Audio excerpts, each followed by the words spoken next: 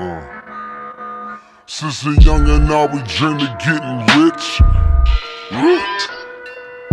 Look at me, me, fantasize about a white picket fence.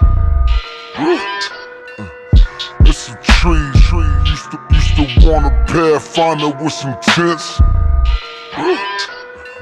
That's all I need, need. Those, those 20s on that bitch and get it rinsed. But now I see my nigga that the world's a lot bigger ever since.